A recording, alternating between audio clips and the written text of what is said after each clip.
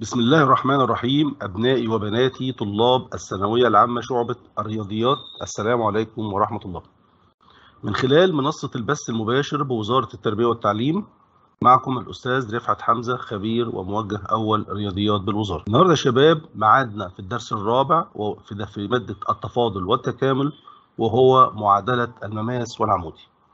معادلة المماس والعمودي هو أحد تطبيقات المشتقة الأولى للدالة إحنا كنا درسنا في الدروس السابقة مشتقة مقلوبات الدوال المثلثية ثم درسنا الاشتقاق الضمني والاشتقاق البارامتري ثم درسنا في اللقاء الأخير المشتقات العليا. درس النهاردة هو تطبيق على هذه المشتقات وهو اسمه معادلة المماس والعمودي. سبق دراسة هذا الدرس في الصف الثاني الثانوي ولكن بقواعد الاشتقاق اللي موجودة في ثانية ثانوي. نفس الدرس نفس الدرس هندرسه تماما بس بقواعد الاشتقاق في ثالثه ثانوي. تعالوا مع بعض الأول نفكركم إزاي نجيب معادلة الخط المستقيم ودي خدناها في أولى ثانوي ده, ده مدخل مهم وتمهيد مهم لإيجاد معادلة المماس والعمودي. نعرف سابقا أنه لإيجاد معادلة الخط المستقيم يلزم معرفة ميل هذا الخط ونقطة عليه. يبقى عشان أجيب ميل معادلة أي خط مستقيم لازم أعرف ميله وفي نفس الوقت كمان أعرف نقطة على هذا الخط. ساعتها المعادلة بتكون بتاخد الصورة الآتية. ص ناقص ص واحد يساوي الميل في س ناقص س واحد. إيه ص وايه س وايه ص واحد وايه س واحد وايه م ص وس دول الرموز اللي هنطلع بيهم الحل اللي يطلع بيهم شكل المعادلة. ص واحد وس واحد أو س واحد وص واحد النقطة اللي هتكون موجودة في السؤال أو أنا هجيبها في السؤال. م هي ميل المستقيم؟ ميل الخط المستقيم. طيب ده كده اسمه معادلة المماس. أما معادلة العمودي على المماس هي نفس الطريقة تماما ولكن بنجيب ميل العمودي. إحنا نعرف إذا كان ميل الخط المستقيم هو م فإن ميل العمودي عليه سالب واحد على م يعني المعكوس الضربي والجمعي لهذا الميل. يعني على سبيل المثال لو كان ميل خط مستقيم هو 3 على 4 يبقى ميل العمودي عليه سالب 4 على 3 اذا عرفت إزاي. فكرتكم إزاي نجيب معادلة الخط المستقيم أو معادلة العمودي على الخط المستقيم؟ تعالوا ناخد مثال بسيط نتعلم فيه إزاي نجيب معادلة الخط المستقيم. المستقيم الذي يمر بالنقطة مثلا سالب 2 و5 وميله 3 على 4 كده أنا متوفر معايا نقطة اللي هي سالب 2 و5 ومتوفر معايا أيضا الميل اللي هو 3 على 4 س واحد وصاد واحد مقصود بيها النقطة سالب 2 و5 وميم مقصود بيها الميل. إذا كل متطلبات تكوين المعادلة متوفر معايا في هذا السؤال. أقدر أقول ص ناقص ص واحد يساوي الميل في س ناقص س واحد.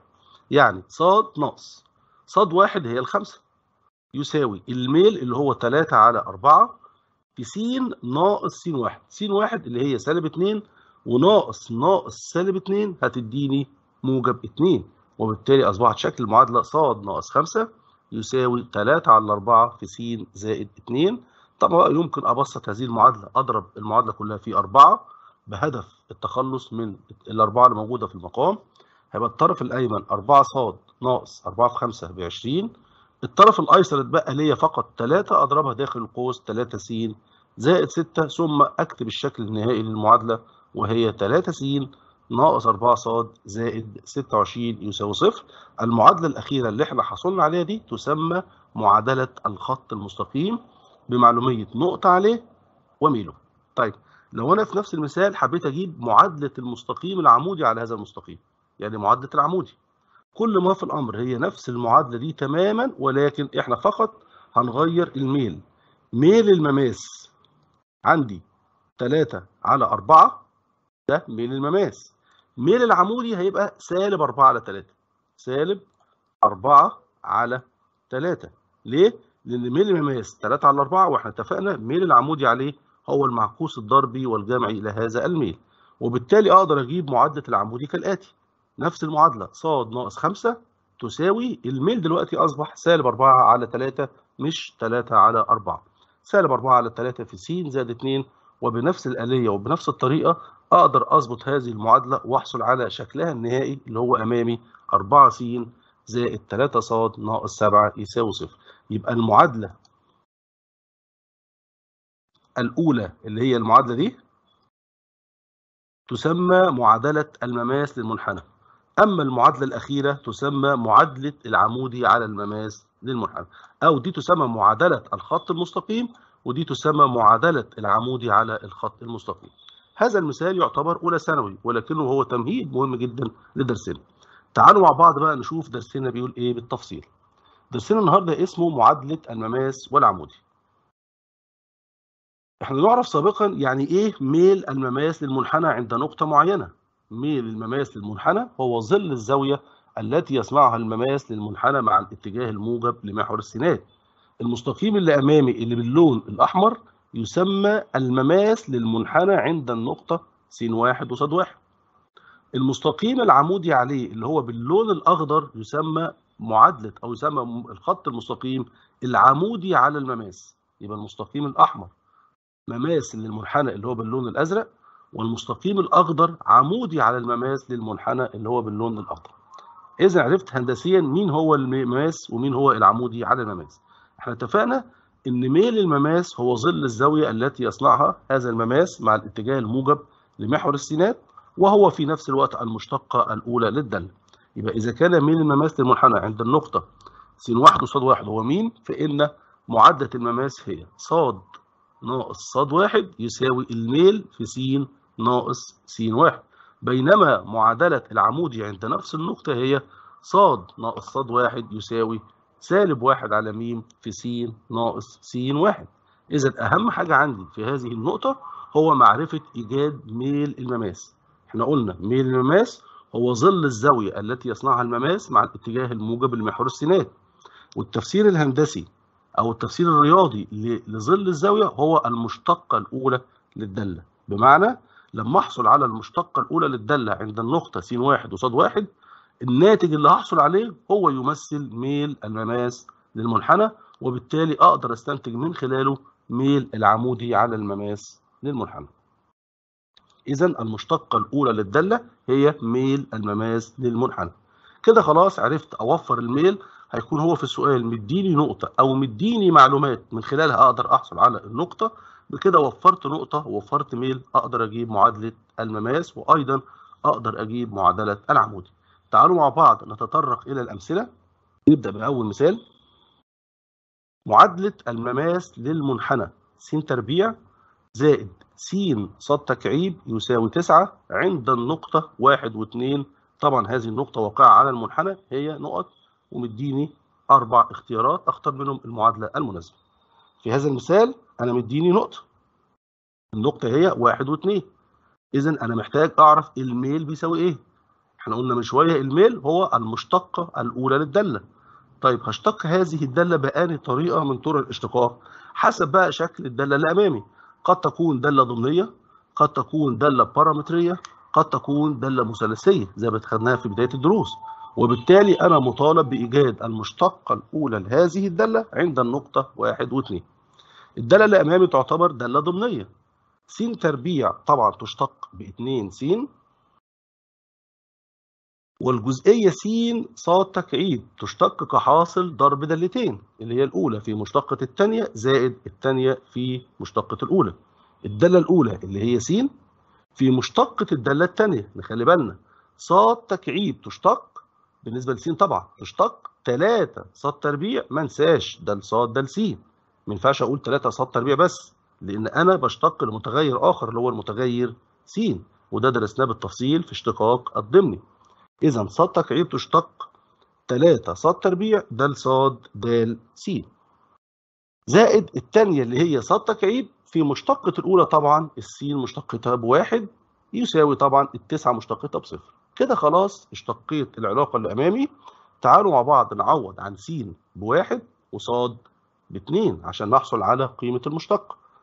اتنين في واحد باتنين زائد واحد في اتنين في تلاتة في اتنين تربيع اللي هي أربعة. أصبحت واحد في تلاتة في أربعة اللي هي اتناشر. ده الصاد ده السين زائد اتنين تكعيب اللي هي تمانية. أقدر أجمع اتنين زائد تمانية هحصل على عشرة. معنى ذلك إن 12 د ص د س هتساوي سالب 10 ومن خلالها بكل بساطة يبقى د ص د س سالب 10 على 12 تختصر سالب 5 على 6 الناتج النهائي اللي أنا حصلت عليه يمثل ميل المماس للمنحنى. اذا ميل المماس للمنحنى سالب 5 على 6 طيب هو طالب مني في السؤال معادلة المماس. طالما طلب معادلة المماس مفيش داعي أجيب ميل العمودي على المماس. كده خلاص أصبح معايا ميل ومعايا نقطة أقدر أطلع المعادلة مباشرة كالآتي. بالقانون طبعا ص ناقص ص واحد يساوي الميل في س ناقص س واحد. يبقى ص ناقص اتنين.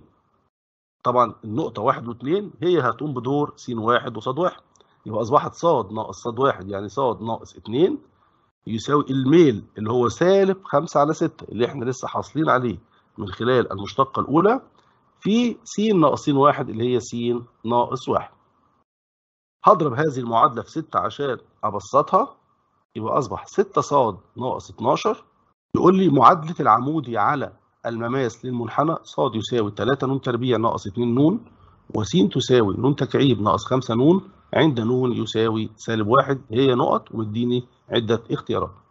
بكل بساطة يا شباب أنا هنا معايا معادلات بارامترية ومش مديني لا الميل ولا النقطة ولكنه مديني قيمة البارامتر ن تساوي سالب 1 يبقى أنا بكل بساطة أعوض عن ن بسالب واحد عند الدالة ص واعوض عن ن بسالب واحد عند الداله س احصل على س بكام وص بكام؟ بكده حصلت على النقطة.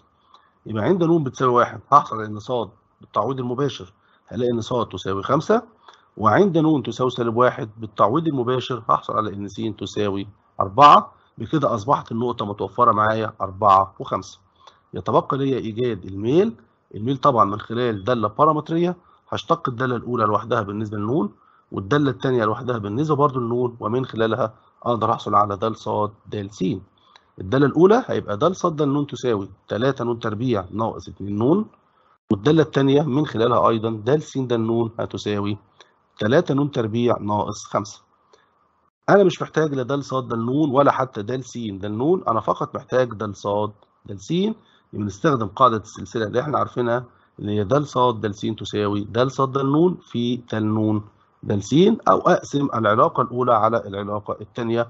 هحصل على 6 ن ناقص 2 على 3 ن تربيع ناقص 5 تعالوا مع بعض نعوض عن ن بواحد وبالتالي اصبحت د ص د س هتساوي 4 لما أعوض في هذا المقدار عن ن بواحد هحصل على 4 د ص د س دي هي ميل المماس للمنحنى. كده أصبح معايا ميل المماس ومعايا النقطة. بكل بساطة أقدر أوجد المعادلة هي طبعا هو عايز مني معادلة العمودي على المماس. طالما ميل المماس أربعة إذا ميل العمودي سالب ربع وبالتالي معادلة العمودي هي ص ناقص خمسة تساوي سالب ربع في س ناقص أربعة. باختصار هذه المعادلة هحصل على س زائد 4 ص ناقص 24 يساوي صفر وده عندي هو الاختيار الأخير. قبل ما أخش على المثال الرابع ما عندي شوية تنبيهات ومعلومات مهمة جدا تعالوا نقولها مع بعض. طبعا المستقيمات المتوازية دائما لها نفس الميل أي مستقيمين متوازيين مؤكد لهما نفس الميل. إذا كان ميل مستقيم ما هو م فإن ميل العمودي عليه هو سالب واحد على م ودي قلناها في بداية الحصة. لإيجاد تقاطع أي منحنى مع محور السينات دائما نضع ص تساوي صفر. بينما تقاطع أي منحنى مع محور ص نضع س بتساوي صفر. دي كلها معلومات مهمة جدا بتعلمني من خلالها أحصل على التقاطع مع محور س أو محور ص طب لإيجاد تقاطع مستقيم مع مستقيم أو مستقيم مع منحنى أو منحنى مع منحنى في هذه الحالة هنحل المعادلتين جبريا. يبقى لإيجاد تقاطع أي مستقيم مع منحنى نحلهم جبريا. طبعا المماس الذي يوازي محور السينات دائما ميله بيساوي صفر. وطبعا يوازي محور السينات دي معناها إن المستقيم أفقي أو المماس أفقي. طب بينما المستقيم الذي يوازي محور الصادات وده بنقول عليه مستقيم رأسي هنا الميل بتاعه د ص د س هيبقى كمية غير معرفة ميل أي خط مستقيم على الصورة أ س زائد ب ص زائد ج تساوي صفر دائما ميله هو سالب معامل س على معامل ص وبالتالي هو سالب أ على ب طبعا بشرط مهم جدا يكون س وص في جهة واحدة. تعالوا ننتقل إلى المثال الرابع بقى. اوجد معادلة المماس للمنحنى ص تساوي جذر 6 ناقص س عند نقطة تقاطعه مع المستقيم ص تساوي 6 ومديني عدة اختيارات. في هذا المثال يا شباب ما ادانيش النقطة اللي هشتغل عليها ولا حتى اداني المسقط السيني له. في هذه الحالة لازم أحل المعادلتين دول جبريا عشان أحصل على نقطة التقاطع. هو إيه اللي عند نقطة التقاطع؟ طيب ص تساوي س. تعالوا في المعادلة الأولى نشيل الصاد ونضع مكانها س أصبح شكل المعادلة هي س تساوي جذر 6 ناقص س عشان أحل هذه المعادلة بكل بساطة لازم الأول أربع الطرفين.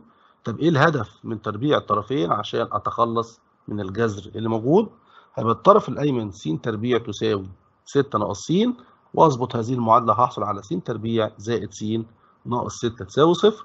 وبتحليل هذه المعادلة هحصل على س ناقص 2 في س زائد 3 ومن خلالها س ب 2 وس تساوي 3 طيب لما س ب 2 لو أنا عوضت في المستقيم الثاني هتبقى ص ب 2 ولو س تساوي سالب 3 وعوضت في المستقيم الثاني هتبقى ص تساوي سالب 3 ولكن النقطة اللي أنا جبتها سواء 2 و2 أو سالب 3 وسالب 3 لازم تحقق كلا المعادلتين. هنلاحظ إن النقطة الثانية اللي هي سالب 3 و3 لا تحقق المنحنى الأول اللي هو ص يساوي جذر 6 ناقص س وبالتالي هيتم رفض هذه النقطة وبالتالي النقطة الوحيدة المستخدمة تبقى 2 و2 كده خلاص حليت مشكلة النقطة فاضل لي مشكلة الميل. الميل طبعا هو المشتقة الأولى للدالة اللي عندي. طبعا الدالة دي دالة جذرية. اشتقاقها يبقى د ص د س تساوي مشتقة ما بداخل الجذر على 2 في الجذر يعني سالب 1 على 2 جذر 6 ناقص س لو عوضنا عن س ب 2 هحصل على إن الميل بيساوي سالب ربع.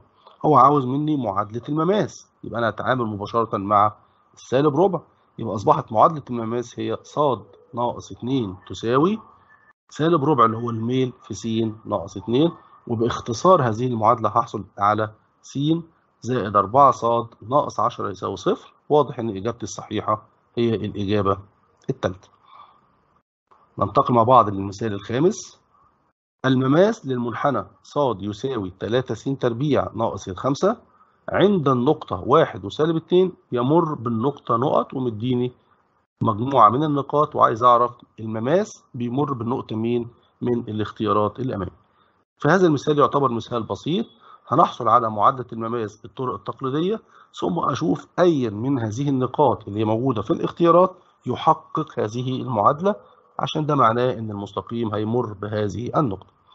طبعا النقطة متوفرة عندي 1 وسالب 2 فاضل لي فقط الميل دي دالة بسيطة جدا. د ص د س اشتقاقها 6 س تربيع 6 س لما نعوض عن س بواحد يبقى د ص د س تساوي 6 كده أصبح معايا ميل المماس معايا الميل ومعايا النقطة 1 وسالب 2 أقدر أحصل على المعادلة بكل بساطة وهي ص ناقص ناقص 2 يعني ص زائد 2 تساوي 6 في س ناقص 1 لما أظبط هذه المعادلة في شكلها النهائي هحصل على 6 س ناقص ص ناقص 8 تساوي صفر. كده خلاص جبت معادلة المماس. عايز أعرف بقى أيا من هذه النقاط تحقق هذه المعادلة. وده معناه إن, هذا المستقيم يمر بهذه النقطة. لو إحنا عوضنا بالنقطة الأولى 5 وسالب 2 لا تحقق يعني 6 في 5 ب 30 ناقص ناقص 2 يعني هتبقى زائد 2 يبقى 32 ناقص 8 طبعا ما يساويش صفر. وهكذا هلاحظ في الآخر إن النقطة صفر وسالب 8 هي النقطة الوحيدة التي تحقق هذه المعادلة وبالتالي نقدر نقول أن المماس للمنحنى عند النقطة 1 وسالب 2 يمر بالنقطة 0 وسالب 8 وبالتالي إجابتي الصحيحة هي الإجابة الأخيرة. المثال السادس معادلة المماس للمنحنى س جاء 2 ص يساوي ص جتا 2 س عند النقطة باي على 4 وباي على 2 في هذا المثال النقطة متوفرة معايا. إذا فقط أنا محتاج أحصل على الميل اللي هو المشتقة الأولى للدالة. طيب الدالة دي دالة ضمنية. تعالوا نشتقها عادي جدا زي ما اتعلمنا إزاي نشتق الدالة الضمنية. الطرف الأيمن عبارة عن حاصل ضرب دالتين والطرف الأيسر أيضا عبارة عن حاصل ضرب دالتين.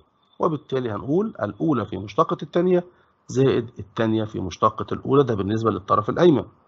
يبقى س في مشتقة جاء 2 ص 2 جتا 2 ص ما انساش. ده ص ده س عشان أنا بشتق بالنسبة لس زائد الثانية اللي هي جاء 2 ص في مشتقة الأولى اللي هي س مشتقتها طبعا بواحد يساوي بنفس الطريقة تماما في الطرف الأيسر الأولى اللي هي ص في مشتقة جتا 2 س هيبقى سالب 2 جا 2 س زائد الثانية اللي هي جتا 2 س في مشتقة الأولى اللي هي د ص د س كده خلاص اشتقيت الدالة. أفضل حاجة إن أنا أعوض مباشرة عن س بباي على 4 وص بباي على 2 يبقى أصبحت باي على 4 س بباي على 2 في جتا 2 ص جتا 2 ص يعني طبعا الصاد هنا تعتبر باي على 4 يعني 45 درجة 2 في 45 هحصل على الصاد اسف الصاد بباي على 2 يعني 90 درجة لما أضربها في 2 هحصل على 180 يبقى أصبحت باي على الباي على 4 اللي هي س مضروبة في 2 يعني باي على 2 في جتا 180 طبعا ده صاد ده س زائد. جا 2 صاد يعني جا 2 في 90 اللي هي جا 180 بنفس الطريقة تماما في الطرف الأيسر ثم باستخدام الآلة الحاسبة وأجيب قيمة جاتا 180 وجا 180 وجا 90 وجاتا 90 بكل سهولة هقدر أحصل على إن د ص د س هتساوي 2 كده خلاص جبت ميل المماس للمنحنى.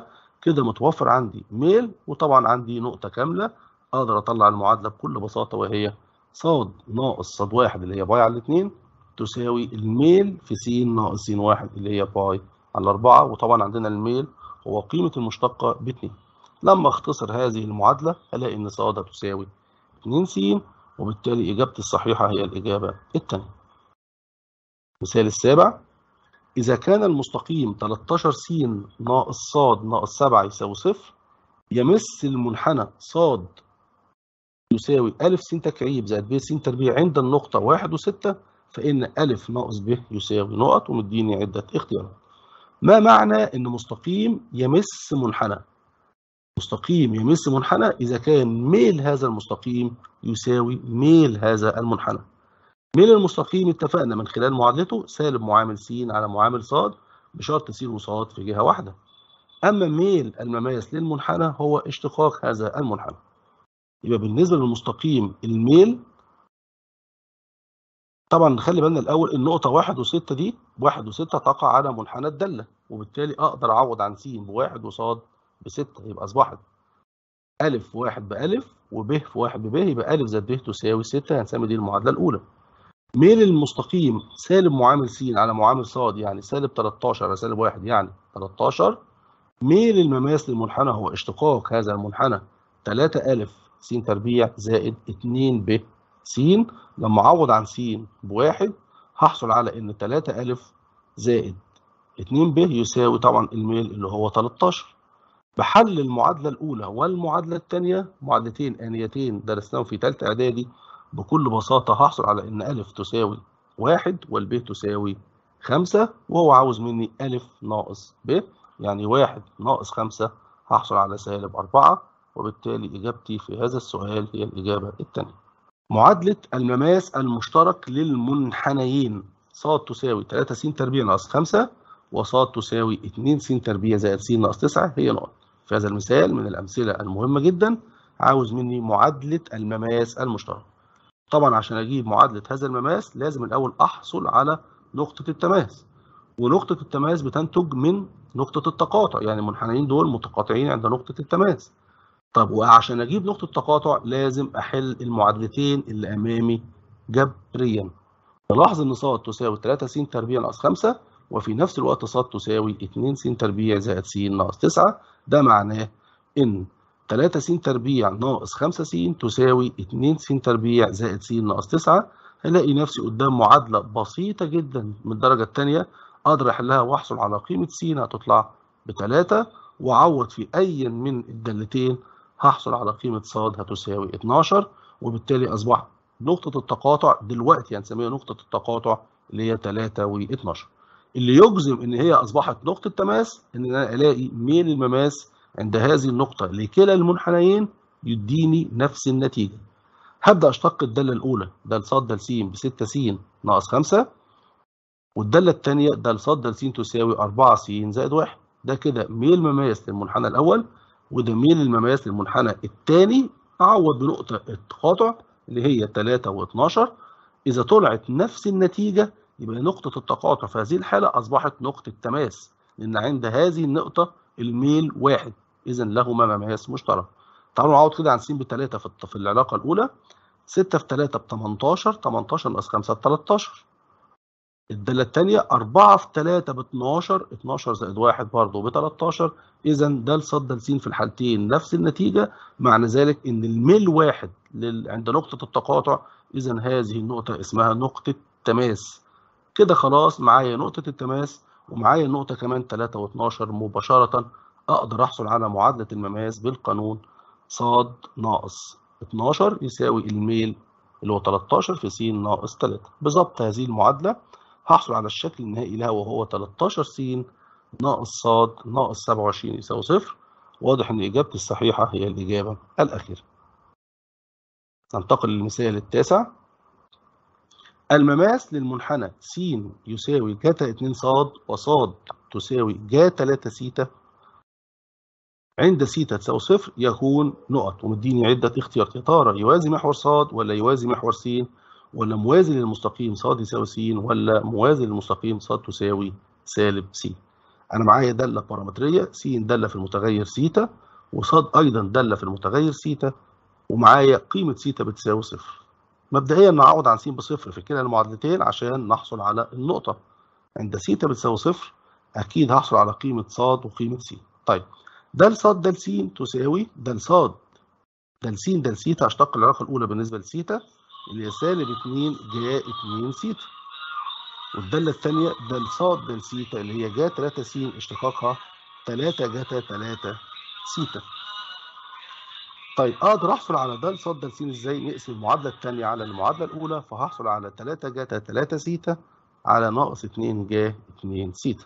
كده خلاص حصلت على ص د سيتا أعوض عن سيتا بصفر أقدر أحصل على الميل مباشرة هيساوي غير معرف يعني 3 جتا صفر اللي هي 3 في 1 ب 3 على سالب 2 جا صفر وطبعا جا صفر بصفر أصبحت 3 على صفر يبقى هذا الكلام غير معرف وده معناه مباشرة إن المماس في هذه الحالة ميله غير معرف اللي هي معناها أيضا إن المستقيم رأسي ومعناها يوازي محور ص يبقى إجابتي الصحيحة في هذا السؤال هي الإجابة الأولى. المثال الأخير في درس النهارده المماس للمنحنى س يساوي 2 جتا سيتا وص يساوي 6 جا سيتا عند سيتا يساوي باي على 6 يصنع مع محوري الإحداثيات مثلث مساحته نقط واديني عدة اختيارات. طبعا الأول لازم أجيب معادلة المماس ثم هشوف إزاي هنجيب هذا المماس يصنع مع المحورين مثلث مساحته إيه. عشان أجيب معادلة المماس محتاج النقطة الأول. نعوض عن س بباي على 6 في كلا المعادلتين. هحصل على إن س تساوي جذر 3 وص تساوي 3 يبقى أصبحت النقطة اللي أنا محتاجها جذر 3 و3 يتبقى لي الميل. هشتق برضه بطريقة الاشتقاق البارامتري في العلاقة الأولى د س د س هتساوي مشتقة ج ص د س هتساوي 6 جتا س أنا محتاج د ص على د س يبقى هقسم العلاقة الثانية على العلاقة الأولى. يعني د ص د س هتساوي. 6 جتا س على سالب 2 ج سيتا يعني ممكن نقول سالب 3 ظتا سيتا طيب تعالوا نعوض بقى عن سيتا بباي على 6 أحصل على الناتج النهائي سالب 3 جذر 3 اللي أمامي ده كده يمثل ميل المماس للمنحنى نبدأ بقى نجيب المعادلة. ص ناقص المي ص ناقص ص واحد يساوي الميل في س ناقص س واحد. يبقى ص ناقص 3 النقطة طبعا كانت جذر 3 و3 يساوي الميل اللي هو سالب 3 جذر 3 في س ناقص جذر 3 باختصار وظبط هذه المعادلة أحصل على الشكل النهائي اللي أمامي. 3 جذر 3 س زائد ص ناقص 12 يساوي صفر. بكده حصلت على معادلة المماس. يتبقى لي عايز أعرف هذا المماس أو هذا المستقيم يصنع مع محوري الإحداثيات مثلث مساحته إيه. عشان أجيب مساحة المثلث مع محوري الإحداثيات هنضع ص مرة بصفر عشان أجيب التقاطع مع محور س وهنضع مرة س بصفر عشان أجيب التقاطع مع محور ص بوضع س بصفر هحصل على ص ب 12 معنى ذلك إن المستقيم بتاعي يقطع 12 وحدة موجبة من محور س. ولما نضع ص بصفر هحصل على إن س تساوي 4 على 3 جذر 3 وده معناه إنه يقطع جزء طوله 4 على 3 جذر 3 من محور السينات لما نوضحها بيانيا المستقيم أمامي يقطع جزء طوله 12 من محور ص ويقطع جزء طوله 4 على 3 جذر 3 من محور س. يبقى أنا أصبحت محتاج مساحة المثلث الأمامي. ده مثلث قائم الزاوية مساحته طبعا نص القاعدة في الارتفاع يعني نص في 12 في 4 على 3 جذر 3 هحصل على 8 جذر 3 ودي عندي الإجابة الأخيرة. بكده انتهينا من درس النهارده يا شباب. درسنا فيه معادلة المماس والعمودي وتعلمنا إزاي نجيب معادلة المماس ومعادلة العمودي وكمان اتعلمنا إزاي نحل مشكلة النقطة لو كانت مش موجودة. طبعا هيكون مديني معلومات مرفقة في السؤال. بكده انتهينا من الدرس. متشكر جدا يا شباب. كان معكم الأستاذ رفعت حمزة خبير وموجه أول الرياضيات مع أطيب تمنياتنا بالتوفيق الإدارة العامة للتعليم الإلكتروني. ونشوفكم إن شاء الله في الدرس القادم. السلام عليكم ورحمة الله.